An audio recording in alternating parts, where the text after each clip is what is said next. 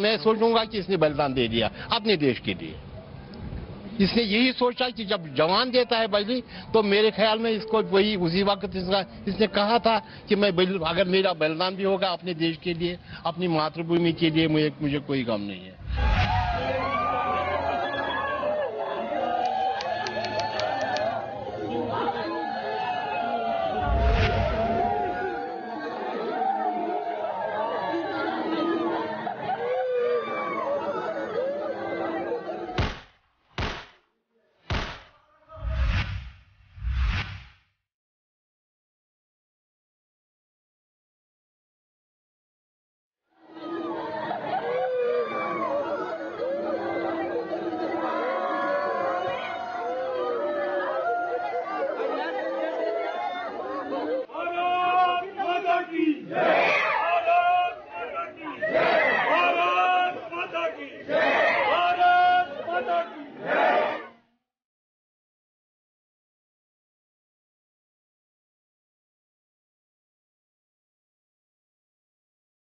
क्या मैं अपने बेटे के ख्वाब को अधूरा रखूँगा? इसकी बेटी कल, उसकी, उसका नाम है शीन भारती।